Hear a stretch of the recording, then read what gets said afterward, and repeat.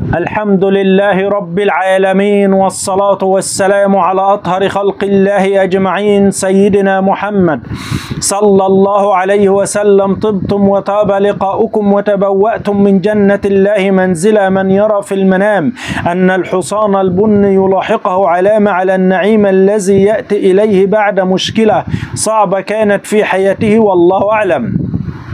رؤية الحصان البني يلاحقني في المنام علامة على الرزق الواسع في العمل أو الترقية في العمل.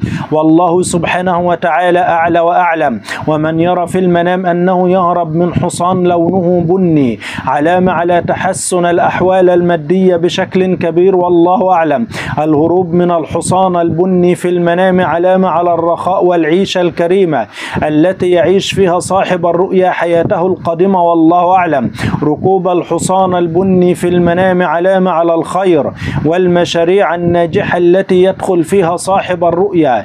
والله سبحانه وتعالى أعلى وأعلم. إذا رأت المرأة المتزوجة أنها ترقب حصان بني علامة على السعادة الزوجية في حياتها والله أعلى وأعلم. ومن يرى في المنام أنه يطارد الحصان وهو يجري منه علامة على زوال السلطة من صاحب الرؤيا والله أعلم.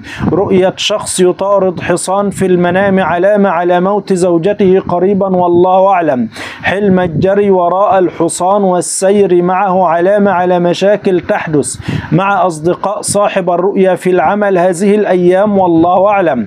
ومن يرى في المنام أنه يجري وراء الحصان ويطارده تكون إشارة على زوال النعمة التي تأتي لصاحب الرؤيا والله أعلم. ومن يرى في المنام أن هناك حصان أبيض يجري وراءه علامة على الأموال الكبيرة التي يحصل عليها.